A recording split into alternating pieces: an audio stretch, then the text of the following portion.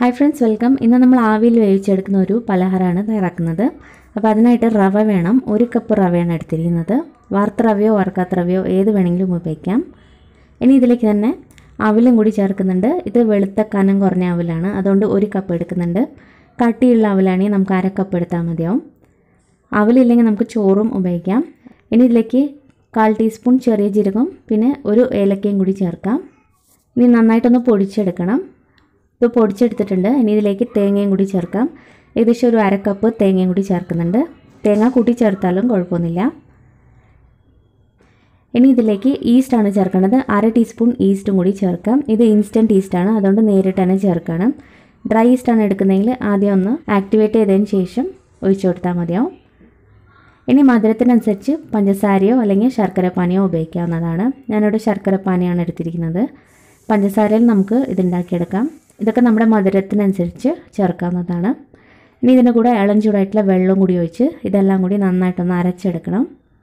അപ്പോൾ നമ്മളിതിലേക്ക് ഉപയോഗിക്കുന്ന വെള്ളം ഇളം ചൂടായിട്ടുള്ള വെള്ളമായിരിക്കണം. അപ്പോൾ നല്ല ഫൈനായിട്ട് ഇതുപോലെ അരച്ചെടുക്കാം. ഇനി ഇതൊരു ബൗളിലേക്ക് മാറ്റാം. അപ്പോൾ ഞാനിതൊരു രണ്ട് കപ്പ് റവയിലാണ് ഉണ്ടാക്കുന്നത്. അപ്പോൾ അപ്പോൾ ഒരു ബാച്ചും കൂടി ഇതേപോലെ അരച്ചെടുത്തിട്ടുണ്ട്. ഇനി ഇതൊന്ന് മിക്സ് ചെയ്ത് നോക്കാം. ഇത് മിക്സ് ചെയ്യുന്ന സമയത്ത് ഒരു നുള്ളി ഉപ്പും കൂടി ചേർത്തിട്ട് വേണം മിക്സ് ചെയ്യാനായിട്ട്. ഇപ്പോൾ കുറച്ച് കട്ടയായിട്ട് തോന്നുകയാണെങ്കിൽ കുറച്ചും കൂടി വെള്ളം ഒഴിച്ച് നമുക്ക് അഡ്ജസ്റ്റ് ചെയ്തെടുക്കാം. അപ്പോൾ ഈ ഒരു പരത്തിൽ വേണം നമ്മളിത് ആക്കിയെടുക്കാനായിട്ട്. ഇഡ്ഡലി മാവിന്റെയൊക്കെ ഒരു പരത്തിലാണുള്ളത്. ഇനി ഇത് റെസ്റ്റ് ചെയ്യാൻ വേണ്ടിയിട്ട് വെക്കണം. അപ്പോൾ ഒരു അരമണി മുതൽ മുക്കാൽ മണിക്കൂർ നേരത്തേക്ക് നമുക്കിത് അടച്ച് വെച്ച് റെസ്റ്റ് ചെയ്യാം. അപ്പോഴേക്കും നന്നായിട്ട് തന്നെ പൊന്തി കിട്ടും. അപ്പോൾ നല്ല ചൂടുള്ള സ്ഥലത്ത് വെക്കുക. സ്റ്റൗവിന്റെ അടുത്തൊക്കെ വെച്ചാൽ പെട്ടെന്ന് തന്നെ പൊന്തി കിട്ടും. ഇതിപ്പോൾ ഒരു മുക്കാൽ മണിക്കൂർ ആയിട്ടുണ്ട്. മാവ് നന്നായിട്ട് പൊന്തി വന്നിട്ടുണ്ട്. നല്ലപോലെ ഫെർമെന്റും ആയിട്ടുണ്ട്. ഇനി നമുക്ക് ഉണ്ടാക്കിയെടുക്കാം. അപ്പോൾ നമ്മളിതുപോലെ ചെറിയ കിണ്ണത്തിലാണ് ഇത് ഉണ്ടാക്കുന്നത്. ആദ്യം തന്നെ നന്നായിട്ട് എണ്ണ തേച്ച് പിടിപ്പിച്ചതിന് ശേഷം ഒരു പകുതി ഭാഗത്തോളം മാവ് ഒഴിച്ചു കൊടുക്കാം. ഇതേ രീതിയിൽ തന്നെ പ്ലേറ്റിലും ഉണ്ടാക്കിയെടുക്കുന്നുണ്ട്. പ്ലേറ്റിലും അതേപോലെ തന്നെ കുറച്ച് നന്നായിട്ട് തേച്ച് പിടിപ്പിച്ചതിന് ശേഷം മാവ് വെച്ച് ഒന്ന് ടാപ്പ് ചെയ്ത് കൊടുക്കുക. അതിന്റെ മുകളിലായിട്ട് കുറച്ച് ചെറിയ ജീരകവും കുറച്ച് തേങ്ങാക്കൊത്തും ഇതുപോലെ വെച്ച് കൊടുക്കാം. അപ്പോൾ സ്റ്റീമർ നേരത്തെ ചൂടാക്കി വെച്ചിട്ടുണ്ട്. ഇനി ഇതിലേക്ക് ഈ ഓരോ ബോൾസും വെച്ച് അടച്ചു വയ്ക്കാം ഒരു അഞ്ച് മിനിറ്റിന് ശേഷം ഇതിന്റെ മുകളിലും കുറച്ച് ജീരകവും തേങ്ങാക്കൊത്തും കൂടി വെച്ച് കൊടുക്കാം. അതിനുശേഷം വീണ്ടും കവർ ചെയ്ത് കുക്ക് ചെയ്തെടുക്കാം. ഏകദേശം ഒരു പതിനഞ്ച് മിനിറ്റിന് ശേഷം നമുക്ക് ചെറുതായിട്ട് കത്തി വെച്ചൊന്ന് കുത്തി നോക്കിയാൽ മതി. ഒട്ടിപ്പിടിക്കാതെ കിട്ടുകയാണെങ്കിൽ എടുക്കാവുന്നതാണ്. ഇതേ രീതിയിൽ തന്നെ വേണം നമ്മൾ പ്ലേറ്റിൽ വെച്ച മാവും കൂടി സ്റ്റീം ചെയ്തെടുക്കാനായിട്ട്.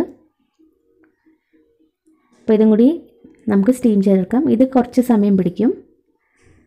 ഇതിനെ ഒന്ന് തണുത്തതിന് ശേഷം നമുക്ക് ഒരു കത്തി വെച്ചിട്ട് ചെറുതായിട്ടൊന്ന് കുത്തി കൊടുത്താൽ പെട്ടെന്ന് തന്നെ വിട്ടിട്ടും സൈഡിലൊക്കെ ഇതുപോലെ ഒന്ന് കുത്തി കൊടുത്താൽ മതി. അപ്പോൾ ഇതുപോലെ നല്ല സോഫ്റ്റ് ആയിട്ടുള്ള അപ്പം റെഡിയാക്കി കിട്ടും. അപ്പോൾ ഇതേ രീതിയിൽ തന്നെ പഞ്ചസാര വെച്ചിട്ടും നമുക്ക് ചെയ്യാവുന്നതാണ്. അപ്പോൾ ഏതാണോ ഇഷ്ടം അത് ഉപയോഗിച്ച് ചെയ്യാവുന്നതാണ്. നല്ല സോഫ്റ്റ് ആയിട്ടുള്ള അപ്പമാണ് അപ്പോൾ നമുക്ക് ചായയുടെ കൂടിയോ അതുപോലെ ബ്രേക്ക്ഫാസ്റ്റ് ആയിട്ടൊക്കെ കഴിക്കാൻ പറ്റും. അപ്പോൾ നമ്മൾ പ്ലേറ്റിൽ വെച്ച അപ്പവും റെഡി ആയിട്ടുണ്ട്. ഇതും അതേപോലെ തന്നെ കത്തി വെച്ചിരുന്നു. കുത്തി കൊടുത്തതിന് ശേഷം നമുക്ക് ഒരു പ്ലേറ്റിലേക്ക് മാറ്റാം.